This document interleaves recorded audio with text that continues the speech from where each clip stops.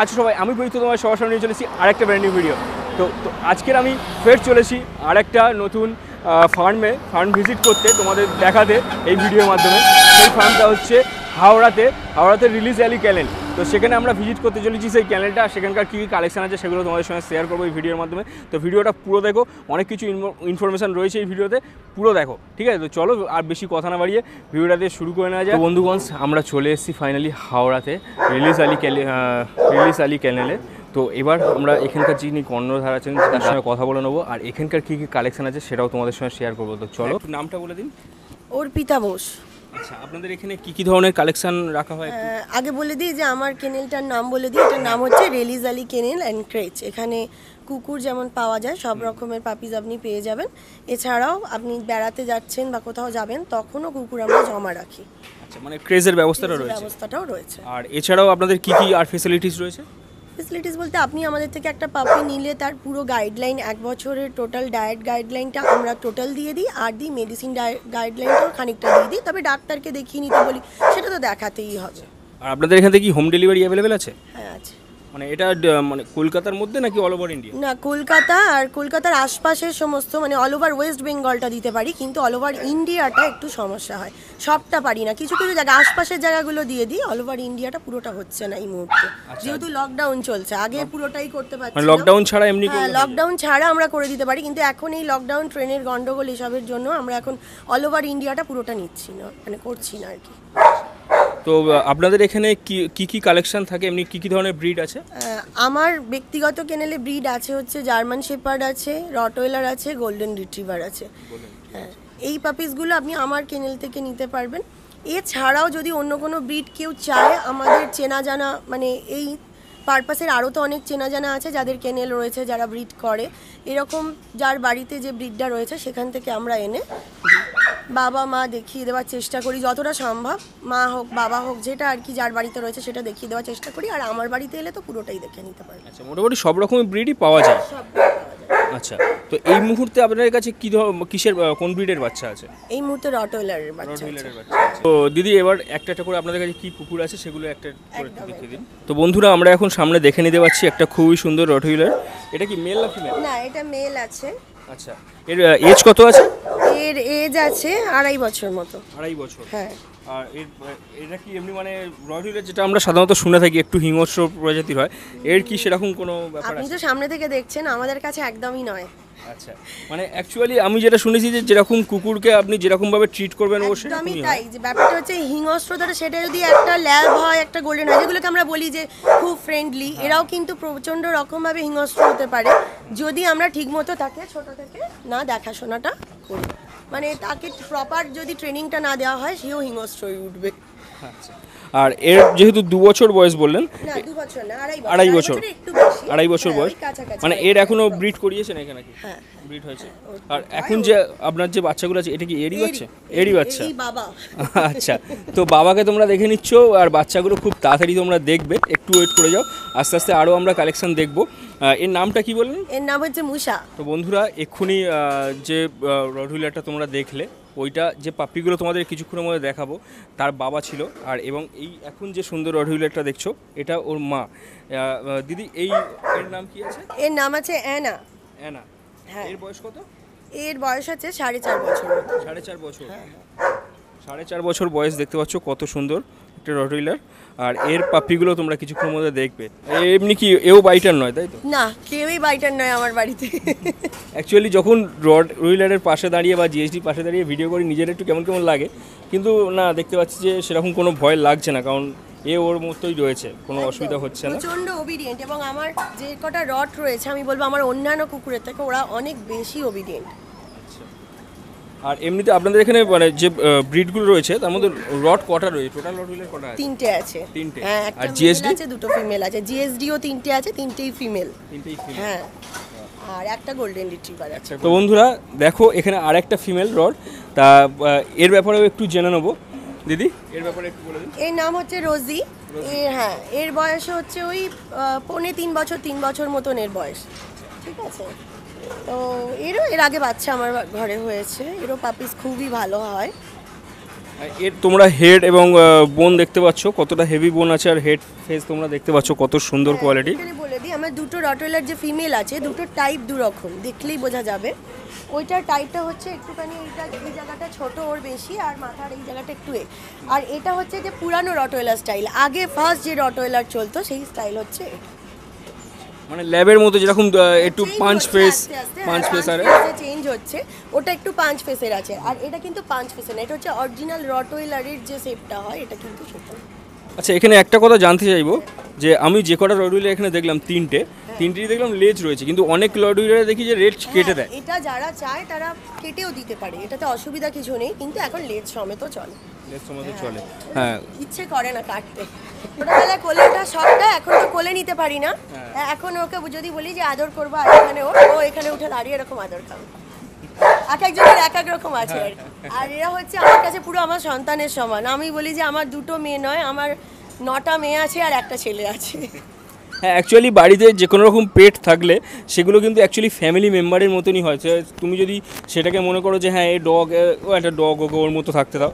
কিন্তু অ্যাকচুয়ালি নয় ফ্যামিলি মেম্বারের মতো যত তুমি রাখবে তত দেখবে তুমি তাদের সঙ্গে আরও সেও তোমার সঙ্গে ঘুল মিলিয়ে যাবে আর তুমিও ব্যাপারটা সেরকম থেকে ওরা বোধ বেশি বোঝে। হ্যাঁ বেশি বোঝে আর মানে এরা কখনো ধোঁকা দেয় না। না কখনো না। তো বন্ধুরা এতক্ষণ তোমরা দেখলে রড হুইলার এবার আমারই খুব পছন্দের একটা ব্রিড যেটা বলতে পারো আমার ফেভারিট ব্রিড এখানে চলে এসেছে দেখতে পাচ্ছ খুব কিউট একটা গোল্ডেন রেক্টিভার পাপ্পি। পাপ্পি নয় গোল্ডেন রেট্রিভার একটা দেখো ফিমেল তো এর ব্যাপারে একটু জেনে নেব। দিদি এর ব্যাপারে একটু ওর নাম হচ্ছে রাশা আর ওর বয়স হচ্ছে আড়াই বছর আড়াই বছর বয়স। আচ্ছা এর এর কি এখনও একবারও ব্রিড করানো হয়েছে নাকি? হ্যাঁ ব্রিড করানো হয়েছে। এর দুবার ব্রিড হয়েছে। দুবার ব্রিড হয়ে গেছে। বাহ এর দুবার ব্রিড হয়ে গেছে অলরেডি তোমরা এই একবার। হয়েছে? আচ্ছা মোটামুটি এর যদি নেক্সট পাপ্পি ফের কেউ নিতে চায় কতদিন পরে? পাওয়া যাবে। এটা মোটামুটি তিন চার মাস বাদে পাওয়া যাবে। তিন চার মাস বাদে নেক্সট পাপ্পি পাওয়া যাবে। পাওয়া যেতে পারে। আমি কনফার্ম নই এটা তো বলা যায় না হ্যাঁ, এইভাবে অবশ্যই। হবেই কি হবেই না এটা তো খানিকটা ডিপেন্ডও করে ওদের উপরে না? এটা তো ডিপেন্ড করে অবশ্যই। দেখতে পাচ্ছ কত সুন্দর মানে আমি যেখানেই দেখি গোল্ডেন রেট্রিভার আমার একটা মন ছুঁয়ে যায়। এটা আমার পার্সোনালি খুব পছন্দের ব্রিড কত সুন্দর দেখতে পাচ্ছ রিচ কালার খুব সুন্দর এর ব্যাপারে একটু বলুন। এটা হচ্ছে জার্মান শেফার্ড ফিমেল আমার কেনেলের শুরুটা হচ্ছে ওকে দিয়েই। ঠিক আছে? ওর এখন বয়স হচ্ছে। এর নাম হচ্ছে টোনা। হ্যাঁ। ওর এই মুহূর্তে বয়স মানে এই জাস্ট ডট আট বছর হয়েছে। হ্যাঁ। ওর আর ব্রিডিং আমরা করছি না বন্ধ করে দিয়েছি। এই লাস্ট ওর একটা ব্রিড হয়েছিল মাস ছয়েক আগে ওটাই ওর লাস্ট ব্রিড হয়েছে।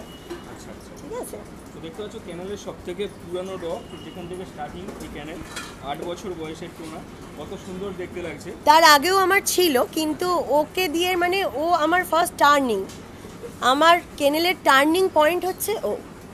আমার কেনেলটার বয়স প্রায় চোদ্দ বছরের কাছাকাছি কিন্তু ও হচ্ছে আমার ফার্স্ট টার্নিং তো বন্ধুরা আমরা এবার চলে আসব জিএসডি আর একটা জিএসডি দেখতে। আর এখানে আরেকটা জিনিস বলে নিই যে এখন তোমরা একটু লাইট ডিফারেন্স দেখতে পাচ্ছ। কারণ হচ্ছে আমাদের ভিডিওটা শ্যুট করতে করতে অলরেডি বিকেলবেলা আমরা এসেছি আর শ্যুট করতে তো এখন সন্ধে হয়ে যাচ্ছে। তাই সেই জন্য একটু লাইটের একটু ডিস্টার্বেন্স হতে পারে একটু ম্যানেজ করে নিও। তো নেক্সট আমরা চলে যাচ্ছি ফের আর আরেকটা জিএসডিতে দিদি এর ব্যাপারে একটু বলে দিন হ্যাঁ এটা হচ্ছে আগে যে জিএসডিটা দেখলেন এটা হচ্ছে ওরি মেয়ে। ওরই মেয়েটা হ্যাঁ এর বয়স হচ্ছে সাড়ে তিন বছর। একে রাখা হয়েছিল ও খাওয়া নেই খুব সমস্যা করতো। আচ্ছা। মানে কিছুতেই খেতে চাইছো চাইতো না তা তখন আমরা ডিসাইড করি যে একে আর দেবো না একে রেখে দেবো। অন্য কোথাও গেলে বোধ হয় না খেতে পেয়ে মরে যাবে। আচ্ছা। মানে ওকে যেভাবে খাওয়াতে হতো অন্য কেউ হলে মানে অন্য কারোর কাছে গেলে সে বুঝবেই না যে ও কীভাবে খাবে। আচ্ছা। সেই কারণে ওকে রেখে দেওয়া হয়েছিল সেই থেকে রয়ে গেছে। এটা- ফিমেল তো? এটাও ফিমেল এটাও ফিমেল হ্যাঁ তবে ওর ব্রিড হয়েছে। আচ্ছা। ওর দুবার ব্রিড হয়েছে। দুবার ব্রিড হয়ে গেছে হ্যাঁ। এর বয়স কত বললেন? এর বয়স সাড়ে তিন বছর। সাড়ে তিন বছর। দেখতে পাচ্ছ সাড়ে তিন বছরে কত সুন্দর একটা জিএসটি দেখো আর আগে বলে দিই আমার জিএসডি গুলো কিন্তু ওয়ার্কিং লাইন হ্যাঁ অনেকে অ্যাঙ্গুলেশন নিয়ে ভাবে যে অ্যাঙ্গুলেশন নেই নেই। এদের অ্যাঙ্গুলেশন ওয়ার্কিং লাইন জিএসডি তো অ্যাঙ্গুলেশন থাকে না। এগুলো হচ্ছে একদম ওয়ার্কিং লাইন জিএসডি এর মা এবং ও দুজনেই হচ্ছে ওয়ার্কিং লাইন জিএসডি হ্যাঁ আমার চুলগুলো ছেঁড়া ছাড়া তো কোনো কাজ নেই। হ্যাঁ, ঠিক আছে, আনন্দ হয়েছে। আজকে অনেক লোকজন এসছে তো। তো বন্ধুরা এখানে দেখতে পাচ্ছ আরেকটা জিএসডি এটা ওদের থেকে বয়সে অনেকটাই কম বলে মনে হচ্ছে। এর বয়স কত? এর বয়স হচ্ছে ছ মাস। ছ মাস বয়স দেখতে পাচ্ছ। আর এটা কি লং কোটে হ্যাঁ এটা লং কোট দিয়ে মেটিং করানো হয়েছিল। আমার ওয়ার্কিং লাইন যে জিজিটা রয়েছে টোনা ওকে লং কোট দিয়ে মিটিং করানো হয়েছিল। তো এই লাস্ট বারে বললাম যে ব্রিড করানো হয়েছিল। এই বাচ্চাটা মানে ওরা চারটে হয়েছিল একটা রেখে দিয়েছে ফিমেল তা ওই জন্য ওকে রেখে দিয়েছি আর ও ভীতু মানে ছ মাস বয়স তো ভয় পাচ্ছে খুবই। তো দেখতে পাচ্ছ? মানে এ অ্যাকচুয়ালি একটু ভয় পাচ্ছিল ও দাঁড়াবে না কোলে উঠে এখন তবু একটু ঠিকঠাক রয়েছে ও সামনে আসতে চাইছে না। তো দেখো পেছন থেকে কত সুন্দর লাগছে। এটা লং কোটের জিএসডি আচ্ছা আচ্ছা ওদের তো বন্ধুরা এখন এতক্ষণ তো তোমরা দেখছিলে যেগুলো বড় ডগ আছে সেগুলো দেখছিলে। এইবার আমরা দেখব যে রটহুইলারের যে পাপ্পিগুলো আছে সেগুলো একে একে দেখাবো। রটহুইলারের পাপ্পিগুলো হ্যাঁ পাপিগুলো দেখাচ্ছি আসুন এদিকে আসুন। তো বন্ধুরা দেখো এখানে পাপ্পি চলে এসছে রটহুইলারের পাপ্পি। আহ, এটার বয়স হচ্ছে আজকে তিরিশ দিন। আজকে তিরিশ দিন হ্যাঁ আজকের ডেটে তিরিশ দিন বয়স। আজকের ডেটে তিরিশ দিনের পাপ্পি দেখো কতটা সুন্দর একদম তোমরা দেখতে পাচ্ছ বেশ না দুষ একদম। মানে দেখলেই মনে হবে যেন হাতে নিয়ে চটকাই। এটা দশটা লিটারের দশটা হয়েছে। এটা একটা মেল পাপি আছে। তোমরা পাপ্পিটাকে এখানে দেখে নাও।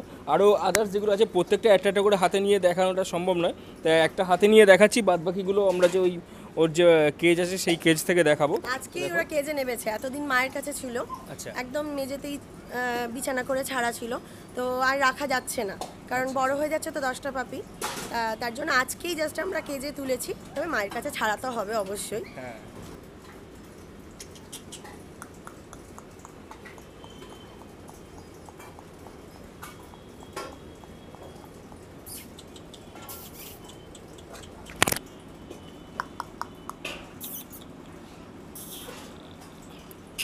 তো বন্ধুরা এতক্ষণ তোমাদের সব রকম কালেকশন দেখালাম। এখানে কি কি কালেকশান আছে? এইবার তোমাদের মধ্যে কোয়ারিজ থাকবে যে এখানকার লোকেশনটা কি আছে বা ফোন নাম্বার কি আছে সেইগুলো এবার দিদির কাছ থেকে জেনে নেব। দিদি একটু টোটাল বলে হ্যাঁ এখানকার লোকেশন হচ্ছে এটা হচ্ছে হাওড়া আন্দুল খটির বাজার নিয়ার রজনীগন্ধা ম্যারেজ হল নিয়ে রজনীগন্ধা ম্যারেজ হল আর দাদার নাম হচ্ছে সুপ্রিয় বোস দাদার ফোন নাম্বার হচ্ছে nine double three zero nine three double four six zero একটু দাদার সঙ্গে একটু হ্যাঁ একটুখানি দাদার সাথে ইন্ট্রোডিউস করি হ্যাঁ দাদা একটু নামটা বলে আমার নাম হচ্ছে সুপ্রিয় বোস আচ্ছা। আর এখানে দিদি যেমন বলে দিচ্ছে অ্যাড্রেস তোমাদের বলে দিচ্ছে আপনার ফোন নাম্বারটাও আরেকবার একটু রিপিট হ্যাঁ, আমার ফোন নাম্বার হচ্ছে nine double three zero nine three double four six zero আচ্ছা এই নাম্বারে কন্ট্যাক্ট করলেই আমার সাথে যোগাযোগ হয়ে যাবে। দাদার সঙ্গে তোমরা এই নাম্বারে কন্ট্যাক্ট করে যোগাযোগ করতে পারো ঠিক আছে? একটু যদি টাইমিং এর কোনো ব্যাপার থাকে যে কি না দেখুন। টোয়েন্টি ফোর আওয়ার্স আমার ফোন খোলা কারণ যে পাপিগুলো আমি বিক্রি করি তার রেসপন্সিবিলিটি আমার। এবার তারা কার কখন কি অসুবিধা হচ্ছে না হচ্ছে আমরা যখন খুশি ফোন করে। ওই জন্য ফোন সারাক্ষণ খোলা। তবে কেউ যদি বাচ্চা কিনতে চান মোটামুটি দশটার মধ্যে রাত্রিবেলায় যোগাযোগ করবেন। আর হ্যাঁ ওইটা একটু মেনশন করে দেওয়াটা ভালো কারণ হয়তো কেউ তারপরে হ্যাঁ। তারপরে করল ওই রাত দশটার মধ্যে আপনারা যে কোনো সময় যোগাযোগ করতে পারেন। মোটামুটি তোমরা সকাল থেকে রাত্রি দশটার মধ্যে তোমরা যারা পাপ্পি নিতে চাও সেই নিয়ে কোনো কোয়ারিজ থাকে তোমরা যোগাযোগ করতে পারো দাদার সঙ্গে। আর অ্যাড্রেস তো তোমাদের বলে দিয়েছে দাদা। তো এখানে একটা জিনিস জানতে চাইব যে এই যে টোটাল এত বড় ফার্ম আমরা দেখতে পাচ্ছি এটা কি মানে শুধু আপনি দেখাশোনা করেন না আপনার দুজনে মিলে না দুজন মিলেই করি। দুজনে মিলে এরকম আমার ডিপার্টমেন্ট হচ্ছে বড়গুলোকে দেখাশোনা করা। আচ্ছা। বাচ্চার ডিপার্টমেন্টটা সম্পূর্ণ ওর দায়িত্বে থাকে। বাচ্চা খাওয়ানো, বাচ্চাকে যত্ন করা, বাচ্চাকে টাইমে টাইমে পরিষ্কার করা, সব করা, সেগুলো ও করে। আর বড় কুকুরগুলো খাওয়া দাওয়া, এ পরিষ্কার এইসবগুলো আমি করি। আচ্ছা কারণ সত্যি বলতে মানে যখন আমি এসে এখানে দেখলাম, সত্যি অনেকটাই বড় মানে তোমাদের ভিডিওতে তোমরা কতটা বুঝতে পারছ জানি না। যারা এখানে যদি পাপ্পি নিতে চাও, যদি এখানে আসো, তোমরা আসলে বুঝতে পারবে যে কতটা বড় এরিয়া নিয়ে কতটা তোমরা আর কালেকশানগুলো তখন সামনে থেকে বুঝতে পারবে। কারণ ভিডিওতে সব কিছু কালেকশান এক, হয় না ক্যামেরাতে সব সময় অতটা ভালো আসে না। বা এখন যেহেতু সন্ধে হয়ে গেছে অলরেডি আমরা লাইটের এরকম জোগাড় লাগিয়ে করছি এখন ভিডিওটা। মানে বুঝে নিতে পারছ। তো তোমরা এখানে দাদার সঙ্গে কোনো রকম কোয়ারিসের জন্য তোমরা কন্ট্যাক্ট করতে পারো। দাদা আরেকবার তো বলব যে আপনাদের ক্যানেলের নামের সঙ্গে সঙ্গে নাম্বারটা একটু বলে দিন। আমার ক্যানেলের নাম হচ্ছে rally Sally canal and cage R phone number হচ্ছে nine double three zero nine three double four six zero. আচ্ছা আরেকটা জিনিস কেজ নিয়ে যেটা বলব যে আপনাদের এখানে যদি কেউ কেজে রাখতে চায় তার জন্য কীরকম কী প্রাইস আছে? দেখুন এটা তো নির্ভর করে ব্রিডের ওপর। একদম বড় ব্রিড যেগুলো গ্রেট ডেন সেন্ট মার্নার্ড এইগুলো ছশো টাকা করে আমরা পার ডে হিসেবে চার্জ করি। মানে ওর মধ্যে কি মিল হ্যাঁ, হ্যাঁ, তিনবার খাওয়া দাওয়া নিয়ে ছশো টাকা। আর যেগুলো মিডিয়াম ব্রিডের কুকুর আছে যেমন রটওয়েলার জিএসডি এগুলো আমরা চার থেকে পাঁচশো টাকা করে ব্রিড অনুযায়ী চার্জ করি। আর একদম স্মল ব্রিডে যদি দেখা যায় তাহলে তিনশো টাকা করে পার ডে হিসেবে চার্জ করি। তিনশো টাকা করে পার ডে হিসেবে চার্জ করি। আচ্ছা এর মধ্যে কোনো ক্রাইটেরিয়া আছে কি? মানে হ্যাঁ একটা টাইটেরিয়া মেনটেন করতে হয় সেটা যে যে যাদের রেখে যাওয়া হয় তাদের জন্য ভ্যাকসিনেটেড হয় সঠিক সময়। ভ্যাকসিনেটেড বা কোনো রকম কোনো রোগ হয়ে আছে কিনা হ্যাঁ, হ্যাঁ, সেগুলো? সেগুলো আমরা দেখে নিই যখন নিই তখনই দেখে নিই। এবার সাধারণত অসুস্থ কুকুর কেউ রেখে যায় না সুস্থই আসে কিন্তু মেন জিনিস হচ্ছে ভ্যাকসিনেটেড কিনা আর গায়ে টিক্স আছে কিনা। কারণ টিক্সের প্রবলেম হলে আমারও তো ঘরের কুকুর আছে না খুব প্রবলেম হয় ওই জন্যে টিক্সটা আমরা আর ভ্যাকসিনেটেড এই দুটো জিনিস দেখে নিই। তো বন্ধুরা, এই ছিল আজকেরকার ভিডিও আর এই ছিল এই চ্যানেলের কী কী কালেকশন আছে সেগুলো তোমাদের সাথে শেয়ার করলাম। ভিডিওটা যদি ভালো লেগে থাকে তাহলে অবশ্যই একটা লাইক করে দিও, তোমাদের বন্ধুদের সাথে শেয়ার করে দিও। আর এখনও যারা চ্যানেলটাকে সাবস্ক্রাইব করনি, কী করছ? তাতেই চ্যানেলটাকে সাবস্ক্রাইব করে নাও। আর যারা অলরেডি চ্যানেলটাকে সাবস্ক্রাইব করে পাশে আছো, তোমরা এরকমভাবেই পাশে থাকো, তোমাদের অসংখ্য ধন্যবাদ। তো চলো, ফের দেখা হচ্ছে পরবর্তী একটা ভিডিওতে ততক্ষণের জন্য টাটা বা bye and love you all